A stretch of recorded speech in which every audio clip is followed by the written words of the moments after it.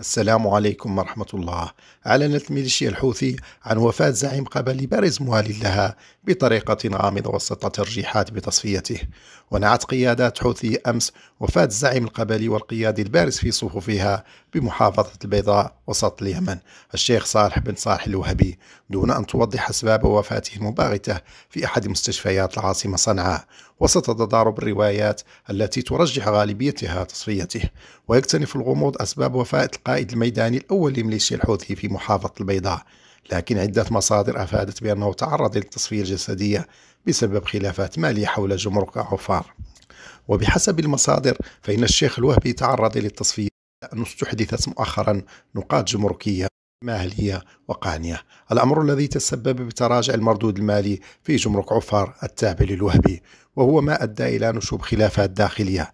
وكان الوهبي وفقا للمصادر يتمتع بصحة جيدة ونشرت له صور قبل وفاته الغامضة بيومين أثناء حضوره في قضية ثار قبلي بمدينة السوادية في البيضاء وهو بكامل صحته. والتقى الوهبي أواخر الشهر الماضي برئيس ما يعرف بالمجلس السياسي التابع للميليشيا مهدي المشاط في صنعاء. في ظل أحاديث عن صراعات بين قيادات حوثية على عائدة النقاط المنتشرة.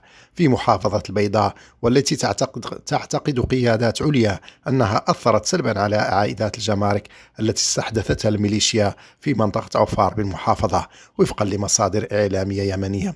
ويعد صالح بن صالح الوهبي رجل الحوثيين الأول في البيضاء ولعب دورا كبيرا في تجنيد أبناء القبائل لصالح الميليشيات الحوثية إضافة إلى تشكيله ميليشيا مسلحة بقيادته أطلق عليها كتائب الوهبي لمساندة الحوثيين ضد القوات الحكومية وضد التحالف في المحافظة اليمنية.